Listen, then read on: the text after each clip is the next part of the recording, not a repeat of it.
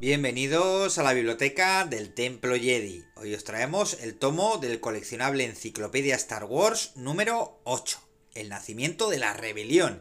Ya veis qué portada, o sea que esto de qué va a ir, pues de Rock One, la película.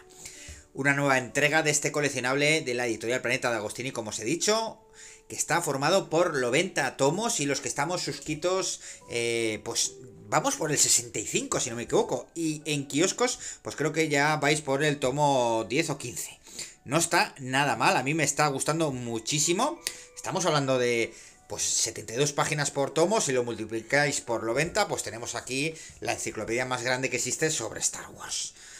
¿Qué tenemos aquí? Pues evidentemente todos los grandes momentos e información sobre Rogue One, es decir, los eventos que vemos allí, que es decir, ¿qué es lo que vemos allí? Pues todo el mundo ya lo conoce, es decir, conseguir los planos de la Estrella de la Muerte, esa pedazo de arma que hubiese cambiado pues eh, el destino de la galaxia, si no llega a ser por, esta, por este equipo, ¿no?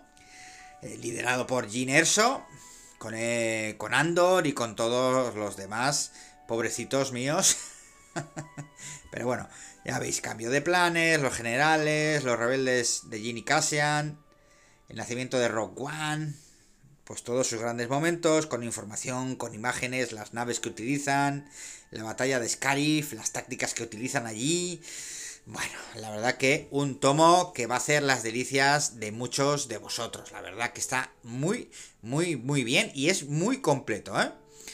La batalla terrestre y todos pues los personajes que allí interfieren. Fijaros, pobrecito androide. Incluso evidentemente la parte de Vader. Así que un tomo que creo que viene muy muy completo. Star Wars, la enciclopedia de Planeta de Agostini. Que la lectura os acompañe.